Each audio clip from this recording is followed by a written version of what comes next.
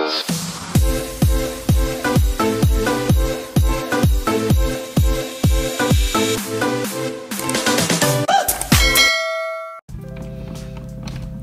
guys! Welcome to my vlog. For today's vlog guys, mag ah, ano tayo, mag makeup tutorial tayo sa yung yung everyday easy makeup tutorial. Ah, mag-umpisa natin ito.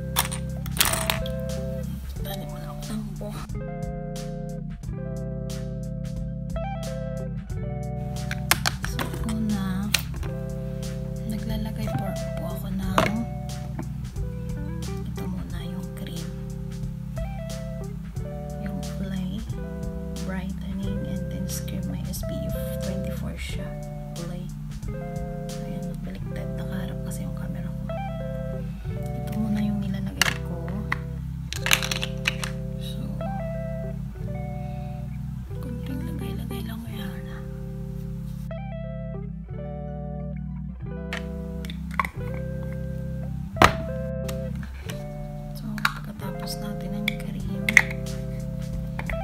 ito yung nilalagay ko yung Sebamed Sun Care, yung 50%, ano, ay 50%, 50, SPF 50 high siya. Kailangan natin to guys, lalo na pag mainit ng panahon, para hindi tayo magka, ano, magkaroon ng,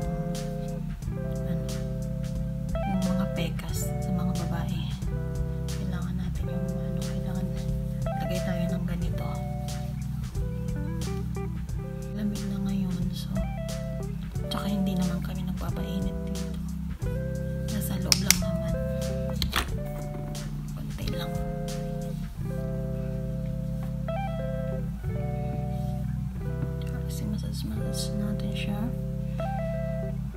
Ganyan. Tapos, next is, maglalagay tayo ng sunod natin yung ating ano guys, yung press powder na ginagamit ko, yung Max Factor. Medyo, ano, number 81 Truly Fair.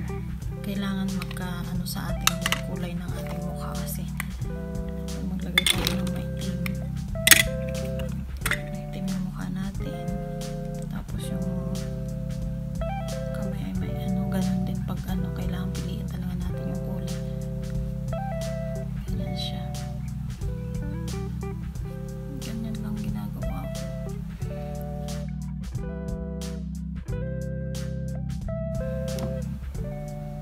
Basic lang naman ang gagawin natin. Hindi ako marunong sa mga contour-contour na yan.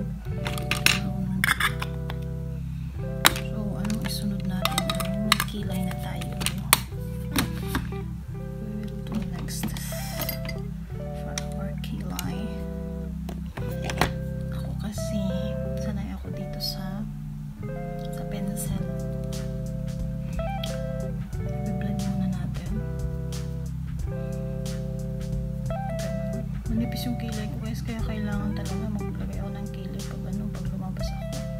Yan na nga lang yung maganda sa akin yung kilay. Eh, ano pa kayo pag wala akong kilay, so ilalagay ko ng kilay. Ito ay ano, L'Oreal din.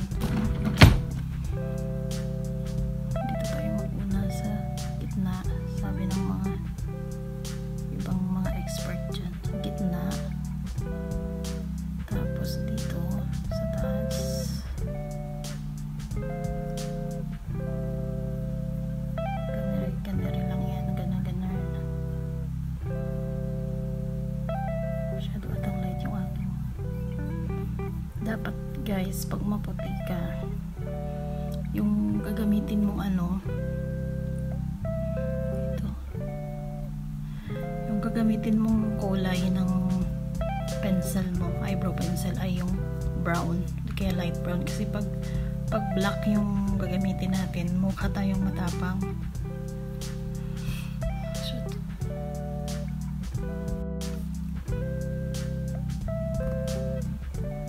Tapos, ibe-blend-blend mo na lang siya. Nakaganyan. Huwag kayong mag-draw guys ng ano, ng sira na. Ng ano, ng parang square dito sa harap natin. Oh, kasi parang halata siyang inano talaga. Ginuhit dyan sa ano natin. Ito kasi parang